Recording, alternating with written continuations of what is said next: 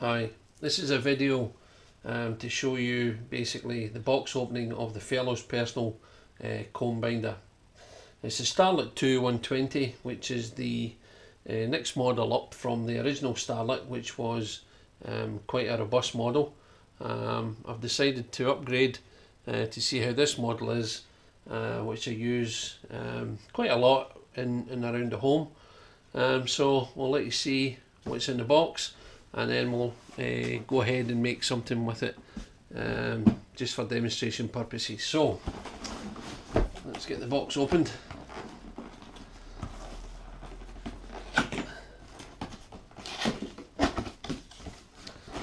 And as we open the box, it's through, it's easier obviously to take it out um, from this position. Just pull it out. Side by side. Okay. Move the box out of the way. The book is also just fallen out of the box there just now which we'll uh, have a look at in a little second or two.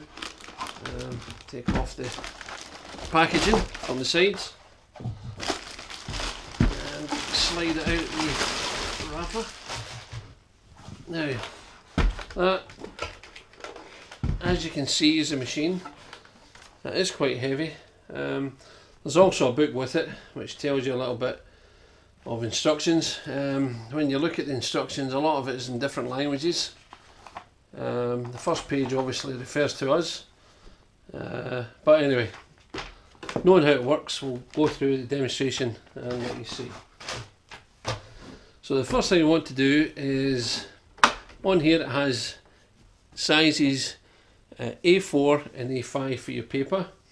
It's a maximum uh, of 10 sheets, approximately 80 grams uh, per sheet, uh, which is the maximum it can take for punching the holes, which I'll show you about in a second or two. Um, on the sides, it's not this side, it's obviously on the other side here, there is a little tray which catches the um, the little confetti pieces that fall off the the uh, the, the paper when you punch it, the holes, um, which I'll show you again in a little second or two. So first things first, these are the pins, 21 pins in total um, to make uh, the little plastic, um, what do you call it, the little plastic uh, comb binder uh, thing that goes on, which I'll show you in a second or two as well.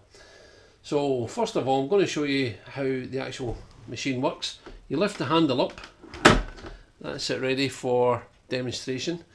Um, I will be uh, demonstrating how to punch some holes. I have some plain paper here which I'm just going to show you. I've set the, the little slider there as you can see moves around. Uh, we're setting it to the A4 size which is the size of paper here. Um, I'm going to insert it into the the uh, lip. And then what you do is you push your handle down. Quite firmly like so.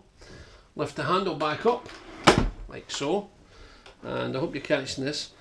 And when you take it out you'll see the holes that have now appeared for the little plastic uh, comb thing that goes through them which will uh, attach it to again just in a minute or two so that's the first thing. what I was going to show you was in the side here, the little drawer that comes out.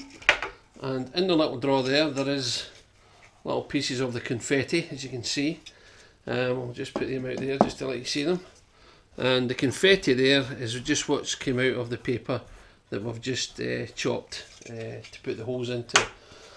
On the, the side of this little drawer thingy, you have different sizes and it tells you in these sizes what the page widths, uh, how many pages it would hold.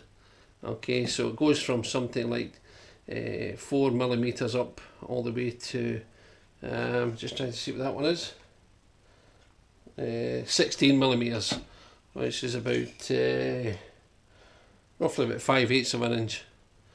Um, so there we go. Anyway, that's the drawer. Stick that back in the side. Okay, turn it back round and we're going to show you the next demonstration. Um,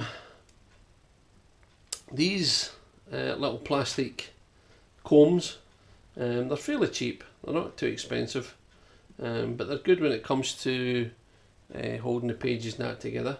And this gets a little bit tricky. However, um, if you know what you're doing, you've got to remember that the teeth, whichever way the, the lip goes over, and as we can see there, there's the, the little teeth that shows you on the back there, how they open up. They open up that way. Um, I hope you can see that. They open up, as I say, that way there. So what we've got to do is, you've got to put it, you've got to put this over the top here, um, just to get this right so that we know. That just sits over the 21 edges there. Didn't actually do that properly. Like so. But what the idea is, you see the little bottom part here of the, the pin, you've got to get that little plastic part over that like so, and you see it just went into every one of them there. So we now have it sitting at, uh, over, I'll just show you that again because it was it happened quite quickly there. In the bottom part there you see all the little silver, um, uh, how could you describe it, the little teeth at the bottom. You push the little black thing through and, and the comb through and pull it sideways and it will catch each individual um, part of the, the comb. Now what happens is you stretch the comb out at the back of the machine, which I should have showed you earlier, um, I'll just show you that just now. There is another handle there, and what you do is you pull that handle up and it stretches the the teeth on the the uh, plastic comb, which will show you how that works now. So there's the comb there. If we pull, just watch this. If we pull that up, you see they start to move and pull the teeth out you see and that same separated now you can see all the teeth have all separated here alright you can see I can run my fingers along just to let it see just to let you see there what I'm talking about the next thing you do is you get the paper that we uh, punched earlier. You put it over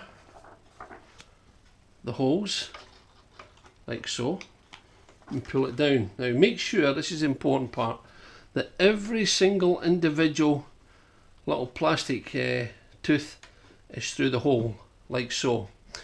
Once you've done that, now I, I tend to use covers and things like that which I'll show you in a second or two but anyway um, this is just for demonstration purposes.